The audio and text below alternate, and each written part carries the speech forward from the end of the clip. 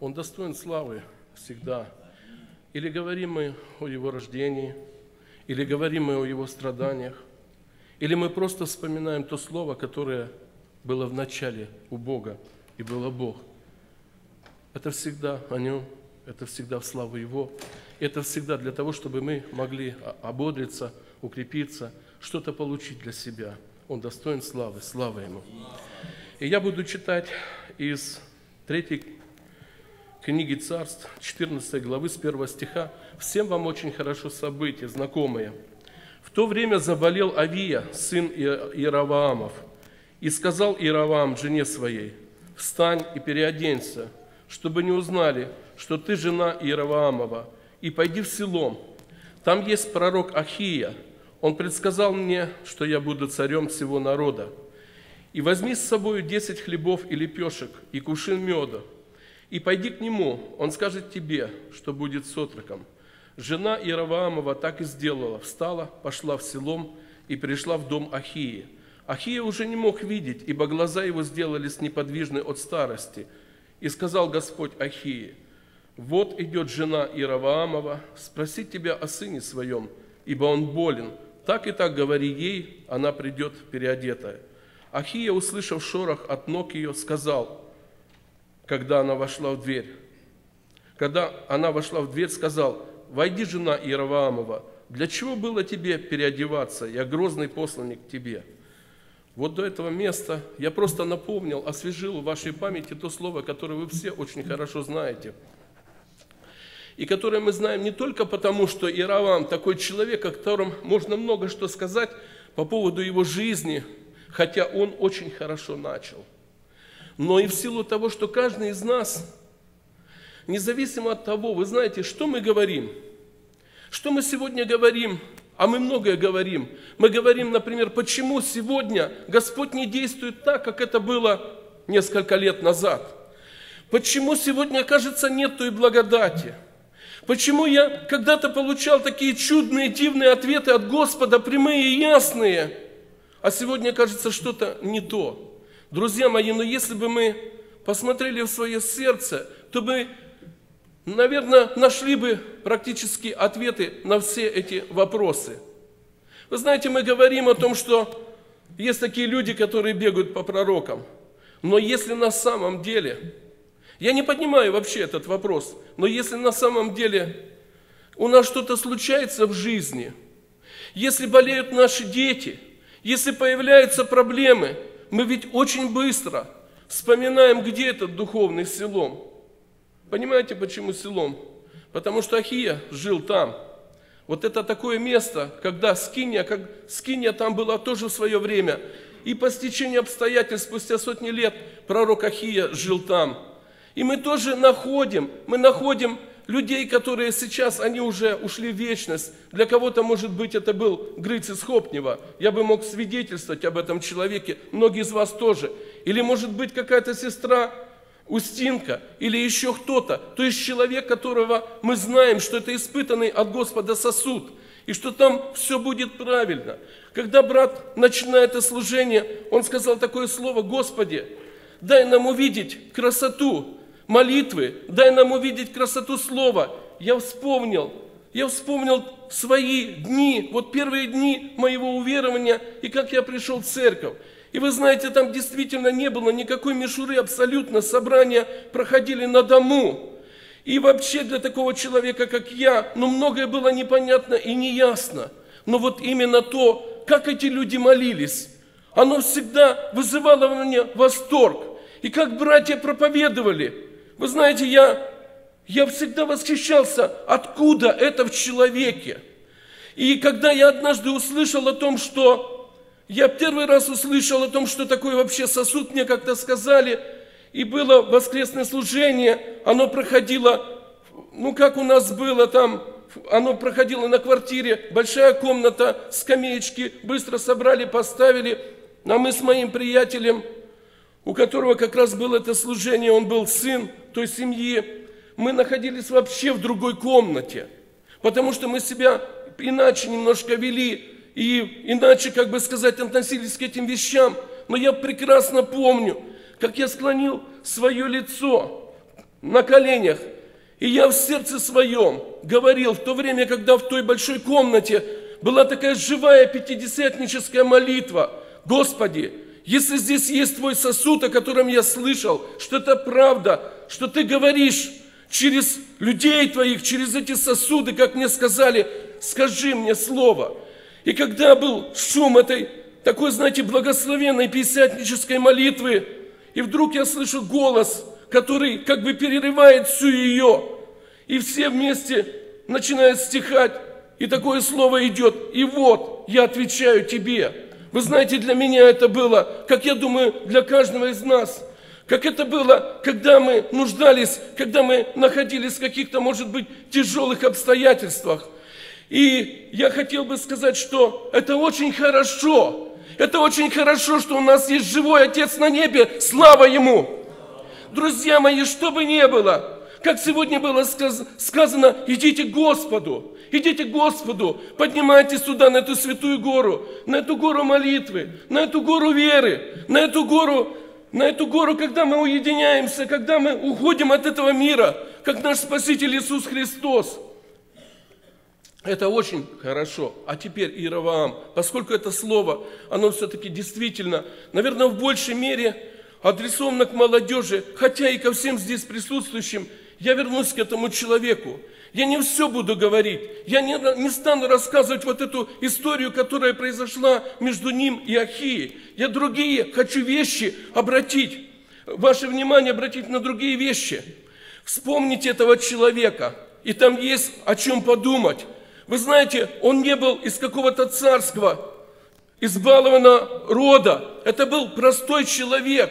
Это был, более того, сын вдовы, особая категория, вдовы и сироты, да. И этот человек был сын вдовы, но о нем сказано молодой человек, но о нем сказано две очень хорошие вещи. Это то, что он был мужественный, и то, что он умел делать дело. И мудрый Соломон, который однажды увидел его, он понял – что это человек, который должен быть на определенном месте. Так решил Соломон. Но был еще некто другой, который наблюдал за всем этим ходом и который определил для него нечто другое. Он ничего себе не думал, он ничего себе в этом отношении не мыслил. Однажды его на поле встречает Ахия, который рвет свою новую одежду и 10 частей дает, дает Иеравааму. И этому человеку он говорит, что ты будешь царем. И он объясняет причины. И вы знаете, вот на самом деле то, что Бог определил и сказал, он принял. Он принял это верою. И у него в жизни похоже, как у Давида. Я, если сравниваю начало их, вы знаете, они очень похожи. Оба из простого рода. Оба угодно ходят пред Господом. У обоих сердце достойное, чтобы Бог обратил на них внимание, молодые люди, возьмите это себе на заметочку, да и каждый, наверное. Вы знаете, и этот человек, он сразу же попадает в немилость. Я не знаю почему, Писание Священное не говорит, но я думаю, что просто, возможно, где-то он что-то сказал. Почему? Потому что Соломон сразу же пожелал его убить, и он становится беглецом. Но проходит немного времени, опять же история, я не буду касаться ее, потому что не очень много времени имею, когда, вы помните, когда Соломон уходит в вечность, и его сын Раваам поднимается на престол. И вот все израильтяне приходят к нему, и такой тест в жизни молодого, другого молодого человека, очень похожи их имена. Я даже одно время сильно путал, Раваам и Раваам. И для этого молодого человека тест в его жизни – когда весь народ обращается к нему, говорит о том, что твой отец наложил очень тяжелое иго на нас. Вы помните, это связано было со строительством храма, в основном облегчи иго отца твоего. Облегчи иго отца твоего. И вот Раваам, я хочу обратить ваше внимание, он очень мудро поступил. Он не, стал сразу что-то отвечать для народа. Он сказал, что пойдите и через три дня придите опять. И когда, вот когда это было время для него, к нему пришли советники его отца, те люди, которые стояли перед Соломоном и слышали его мудрость, и они дали ему, прекрасный совет.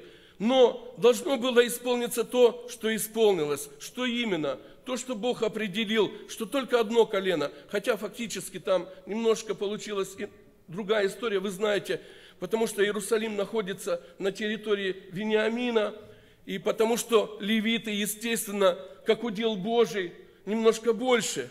Но тем не менее 10 колен этот человек получает. И кажется, как должен был бы быть он благодарен для Господа? Как человек, который получил какую-то милость от Всевышнего, должен быть благодарен своему Создателю – но получается немножко все по-другому. Потому что тот человек, тот молодой человек, который был мужественный, который умел делать дело, когда он поднялся на эту высоту, он оказался другим.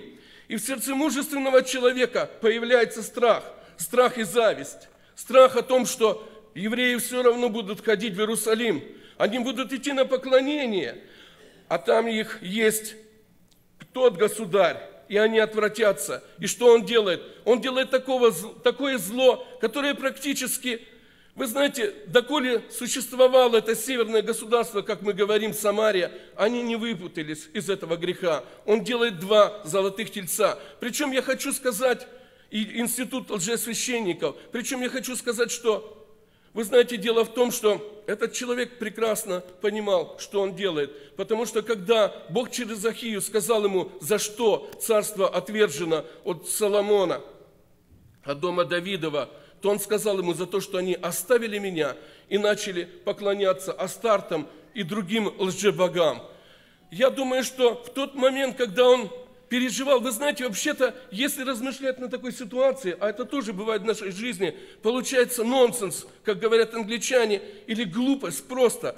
Боясь потерять власть, которую Бог дал ему, он начинает грешить против Бога. Задумайтесь над этим. Боясь потерять власть, которую Бог дал ему, он начинает грешить против Бога. Он думал, что так он удержится.